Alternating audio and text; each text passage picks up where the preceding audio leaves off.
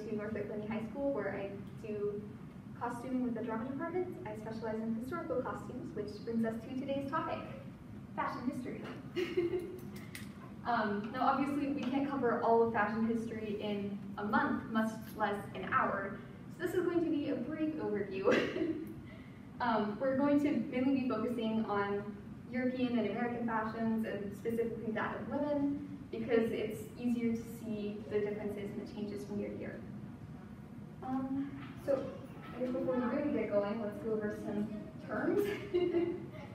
so first up is a chemise. This is kind of like the base layer. So that's like the base thing that you would wear underneath your corset or your stays, anything else.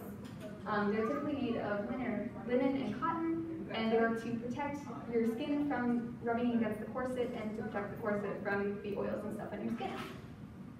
Um, next up is corsets and stays. Um, so on the left, you have a pair of stays. They're meant to hold everything in, and they lace in the front and back. They have straps, and they have tabs at the bottom. On the right is a pair, or it is a corset from the 1860s, and you, that's meant to more accentuate your curves and stuff rather than flatten you out. Um, it, close, it laces in the back, but it opens in the front with a steel busk, which is a closure method.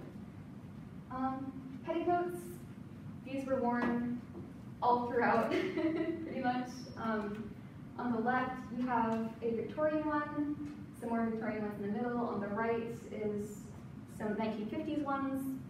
I'm actually wearing a petticoat right now. yeah. Um, so let's start off in England in the 1590s, because this is where stays really got popular and widely used. As you can see from these portraits, there's nothing in the front. um, the 18th century, moving fast, sorry, 18th century, so 1700s, you have a lot of flowiness, um, a lot of volume in the skirts, some trains, lots of bows, lots of frills, feathers, very ornate. Um, in France, in the late 1700s, you have the Rococo style, which, just picture Marie Antoinette, that's this. um, the skirts were very wide, everything was super duper ornate.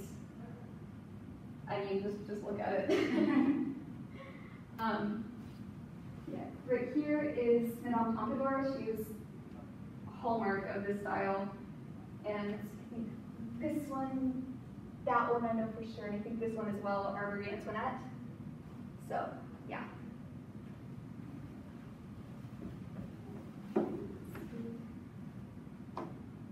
Um, right off of that is the à la which was kind of like the beginning of cottagecore, pretty much. Um, it was like, it, it was an aesthetic, and the these rich aristocrats would kind of like go to the countryside, their little cottage in the countryside, wear these really simple frocks and pretend that they were witches in the forest pretty much. Not particularly like that, but it was very similar to modern day cottagecore. Um, it's a lot simpler than the Rococo, as you can clearly see. Um, next up is the Regency period. It starts in the 1790s, and it started in France among the youth because they really, really, really wanted to get away from the ideals of the aristocracy. They wanted everything to be completely simple. You don't really get a lot of color until like the 1800s or so. Um, everything's like really white in the beginning. Over here on the left, you can see like towards the beginning of the period, everything was really rounded all the way around. Um, you have a lot of gatherers like everywhere. but as we move on in the period, as we see in the middle there, it everything eventually gets gathered towards the back instead.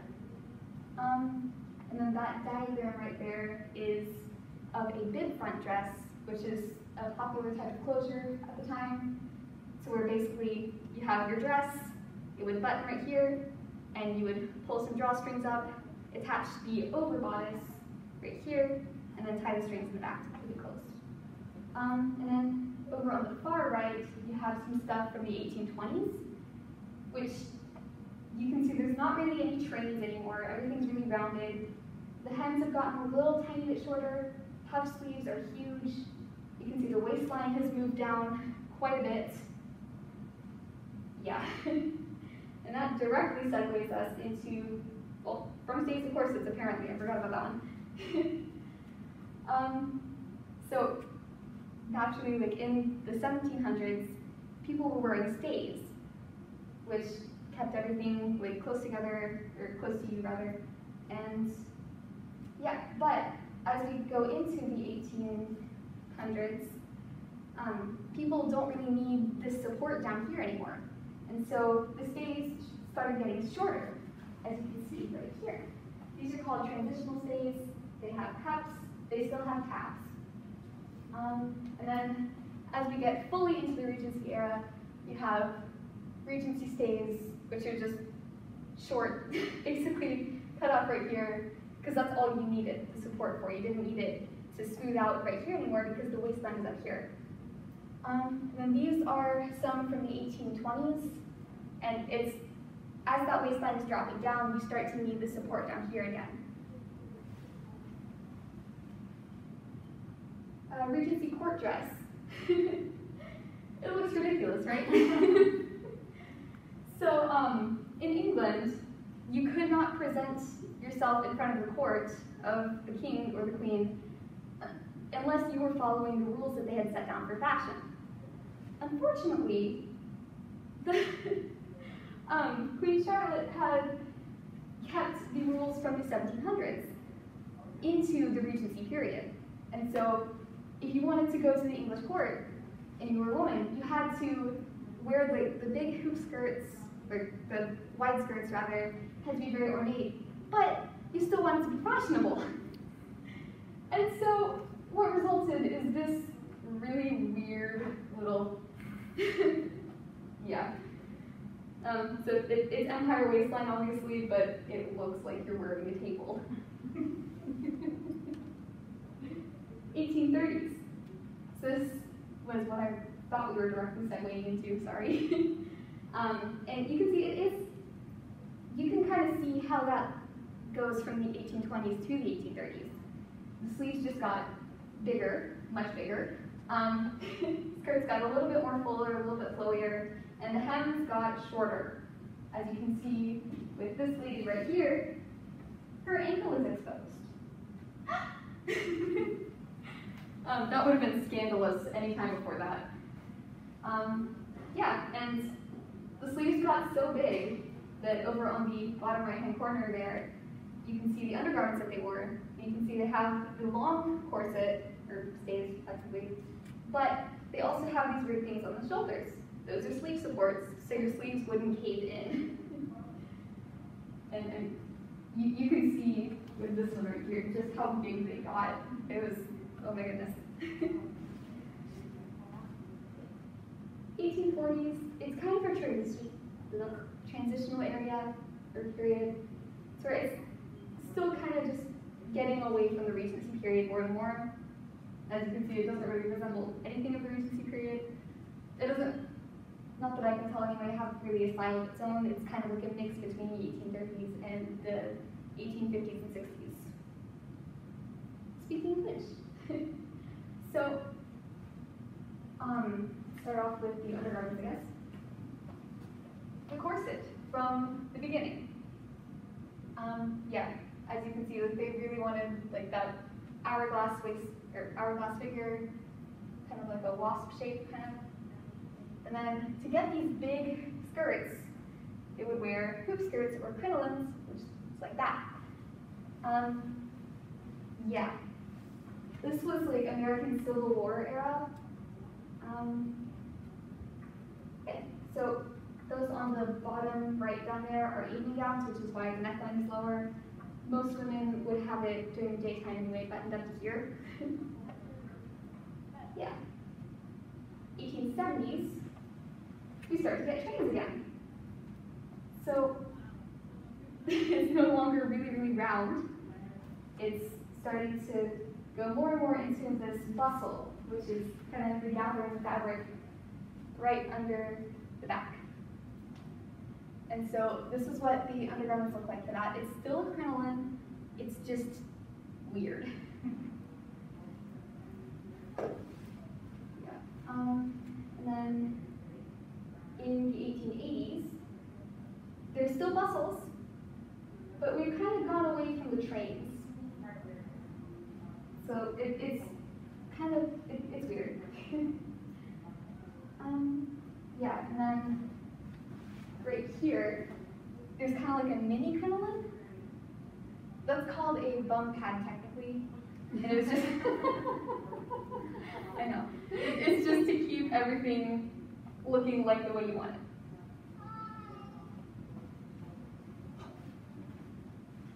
Okay, 1890s, can see it looks drastically different.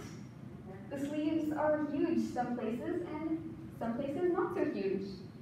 Um, A-line skirt is back in fashion. Not really any crinolines anymore.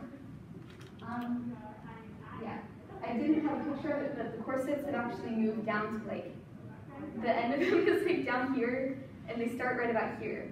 It's kind of weird, but yeah, this is like beginning of the turn of the century.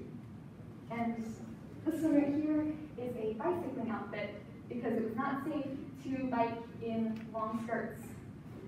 Where's the wise?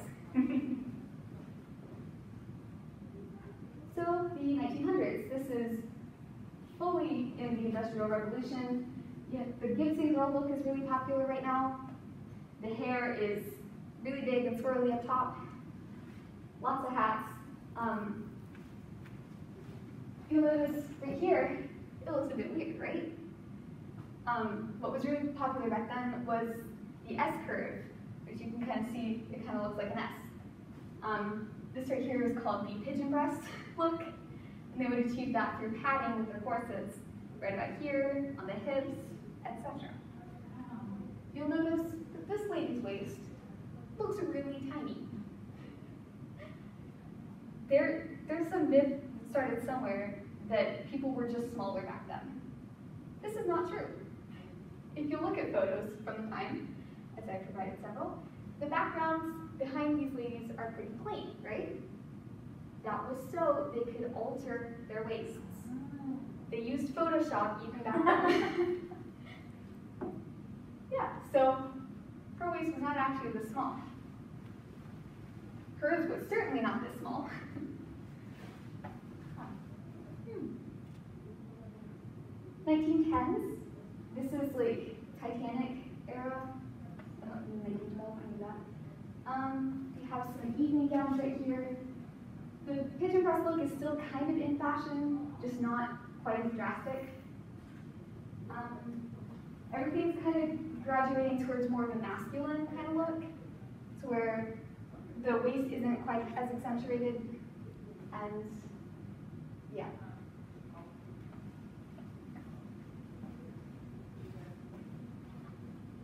1920s.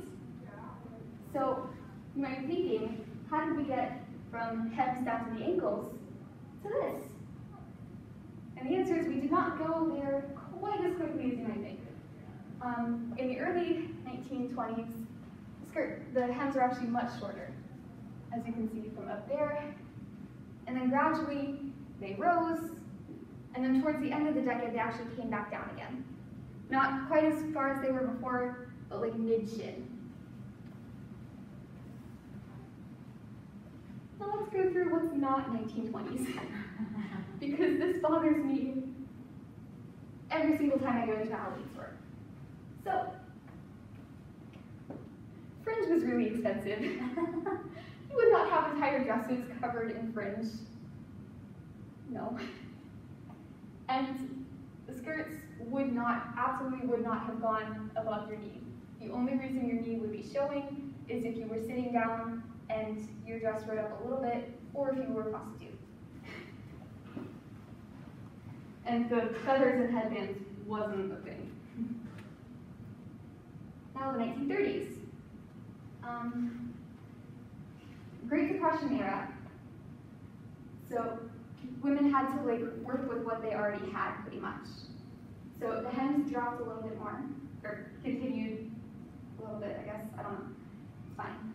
Um, hemlines rose. I didn't mention this for some reason, but in the 220s, the waistlines were down right here at the waist, but they rose quite a bit, like to natural waistline in the 1930s. Um, we have some swimsuits from the time, some women wearing pants, and what I thought was adorable was, so there were fabric shortages, of course, during the Great Depression. And so mothers had to make clothes for their quickly growing children. So they would turn to flour sacks, feed sacks, stuff like that, because it was cheap, they already had it, because they had to buy flour and stuff, and it was a good amount of fabric. When companies realized that women were doing this, they started printing floral patterns on their sacks of flour, and the labels would wash out in like a wash or two. And so these, these women like actually had nice fabric to make clothes for their children out of. And there's some examples up there. And I just thought this was really touching how like you can see the patches where this dress was well worn and she's taking great care to repair it. I just thought it was really cute.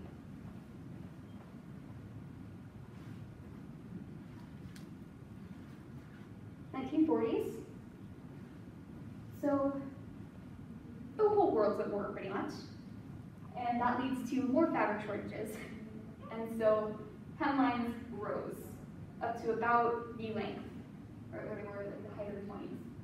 Um, masculine look was back in with really broad shoulders, like even blouses from the time had shoulder pads. And jackets certainly did.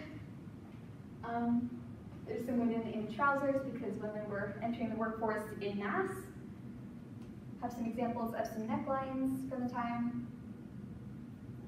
And in 1948, Christian Dior releases the new look. And this right here defined the next decade of fashion, which is really impressive. Like thinking about now, some designer coming out with something that influences fashion for the next 10 years. Um, but yeah, the Christian Dior's new look was obviously much more flowy, poofier, like what I'm wearing, and the hem was quite a bit shorter than what most women were used to at the time. There were actually protests against this new look. Yeah, um, there's it in color and not on a person. So I have the 50s separated into because they kind of like drastically changed towards the end. So the early mid-50s is pretty much what you expect from typical 1950s. It's the circle skirts, it's fancy dresses, they're all fancy, but it's fine. um, yeah.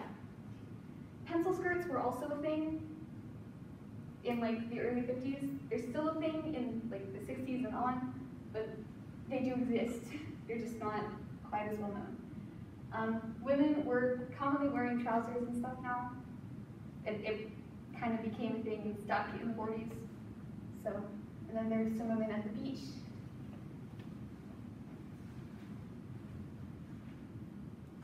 Now, the late 50s, early 1950s, I actually have this pattern. Um, so previously, the skirts were cut in gores, which means basically they were cut in triangles.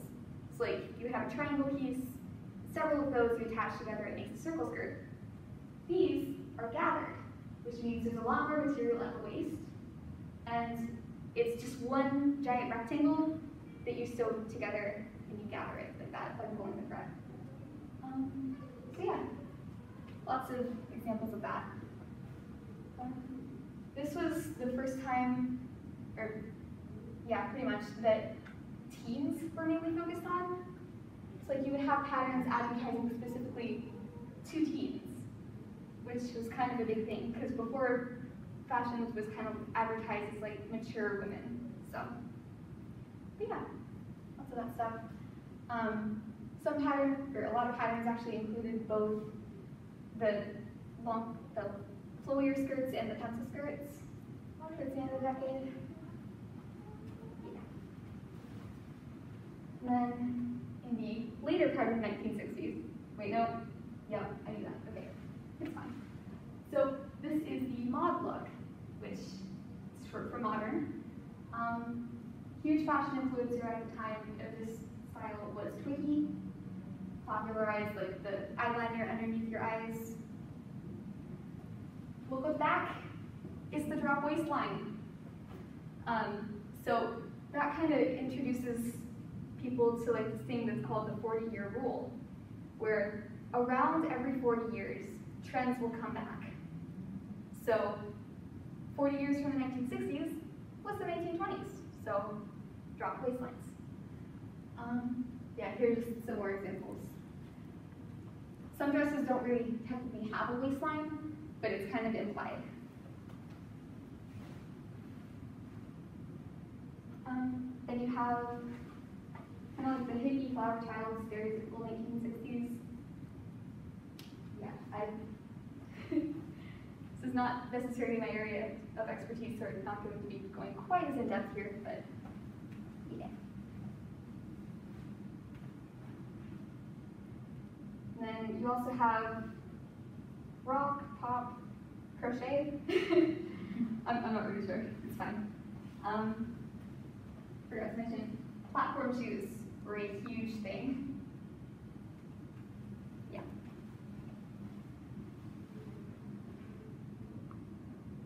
And you also have like the rock era stuff like Aerosmith, Queen.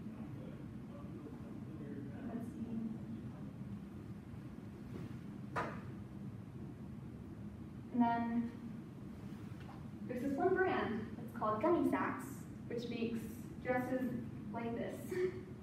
There was a resurgence of colonial stuff in this period because it was the 200th anniversary of the signing of the Declaration of Independence and all. And so that was a thing. And also because of the 40-year rule, stuff from the 1930s was also kind of big. So that's why you have longer skirts and stuff like that.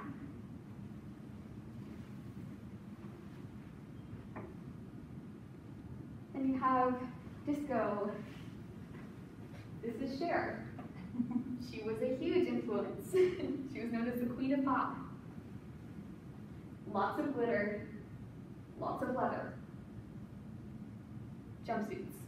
In the 1980s, you see a resurgence of the 1940s. It's where, or not all the way. There's some modern twists, obviously, but you have the broad shoulders, kind of like the not so puffy skirts, or A-line. Now, I know that's not what you typically think for the 80s, so here is other stuff. Lots of neon, denim, huge hair, big, like, bright colors,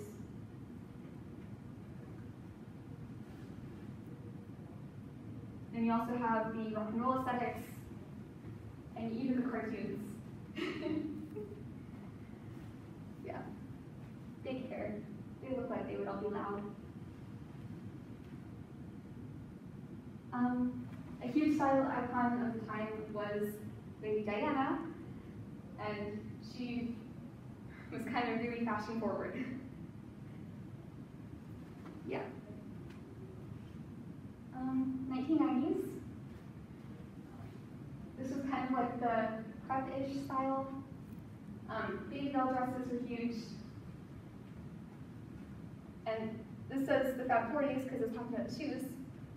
Those are technically Oxfords, but um, So the 40-year trend isn't always 100% accurate. So it's around every 40 years. So it's like 30 to 50, somewhere in there. Trends start coming back. Um, yep, and have some people at school.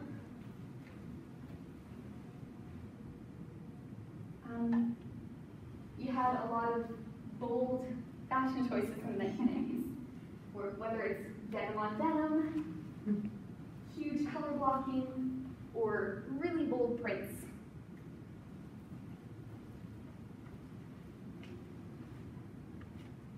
Um, I just thought it would be good to mention TV and media was a huge influence of fashion at the time. So you have Saved by the Bell, Full House, that's more Saved by the Bell, um, Clueless, Friends, obviously, and Mean Girls, but that's technically 2000. That's fine. So, now that that's come to an end, I have some kind of satire to share with you, and I want to see if you can tell what's being made fun of. So, this, this is all making fun of the same era. Do we have any guesses? Is it the eighteen seventies, Close? eighteen eighties? Yeah. Yep. I like the snail shell. And the horse. Centaur. Very astute observations. yeah, this one is talking about like different things women are using as puzzles. This one has books. That one's a bird cage, a drum, a pan. Oh, that's funny. It's great. Storage is important. Couldn't tell. I'm curious how people would sit. Oh, it, it was just another crinoline. So it would like fold up. Oh. Alright. Yeah, they, they weren't like stiff or anything. It was like hoops that were hung on like tape basically. Oh, okay. Like strips of fabric. So, what are we thinking? Um, I see the, the pigeon breast, um, 1890s? Close. 1910? 1900s, 1910s. This one is probably more 1900s. This one is definitely 1910s. Um, yeah, just because like the Gibson Girl look was more popular in the 1900s. Big hats. Big hat. Big hat, tiny person. Gosh. Uh, that'd be like the. I found a lot of these. So Is she an umbrella? Just blowing away.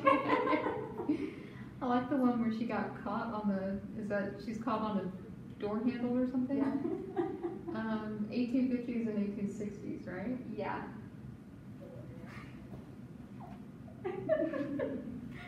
That's a social distancing dress. There you go. Whoa. Shoulders. I can picture the images, but I don't remember the name. It's the one with the big sleeves when they have like the puffy things on their corsets. Um. Is it the eighteen nineties? Nope. No. I think it was before, I think it's before the, because it was earlier than, it was like eighteen thirties? Yep. Okay. Yeah, you can see scandalous ankles. I'm really curious about why their sleeves got so big. Like, what was, did they serve a function or, You know, I don't know. I think it might have just been for the aesthetic. hmm, like, the hiding snacks in there or something? That's what I would do. Yeah, like a lot of these trends, they just they got more and more extreme until they could go no further, and so then they kind of let out. Like the Regency waistline started out down here, and it just got higher and higher and higher until it could go no higher, as we saw in the 1920s or not 1820s, my bad. And so it just kind of fell back down. And, again, with, with the hems in the 1920s, they got shorter and shorter, and then they came back down. Same thing with sleeves in the 1830s. I guess it just shows you like, that happens these days too. If you Mm, look at like, uh, if you look at Fashion Week and you see like how extreme some of those styles are, you know, Yeah. just kind of, kind of the same way. Whoa, what is going on there? That looks like Marie Antoinette stuff. I miss that. Seventeen nineties? 1780s, but we'll take it. I'm close. We'll take it. Okay, what is going on on the second one? Is with the guy, the guy is holding up her hair? Yeah, her hair is so big and tall that it's pulling her backwards and he's having to hold it up. Okay. Yeah, it kind of looks like a collar, but it's her hair. Okay, gotcha. I She has a a trendy hat on there. Oh, I see that. ah, that would give me a headache. this back? Uh, Trains. the trains. It looks kind of in the eighteen hundreds.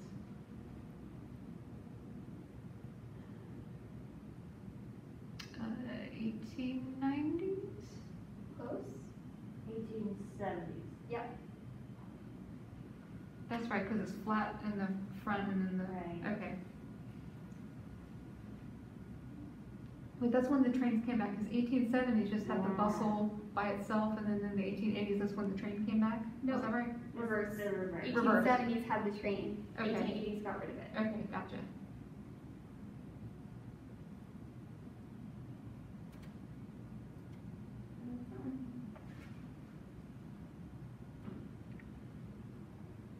Let's see if we can do this way. That was the end of the presentation. Okay. I it's fine. So yeah, um, brief overview of fashion history. Obviously, we couldn't cover everything because there is so much more we could have talked about, but that's kind of like what I'm most knowledgeable knowledgeable about. So yeah, figured I would share.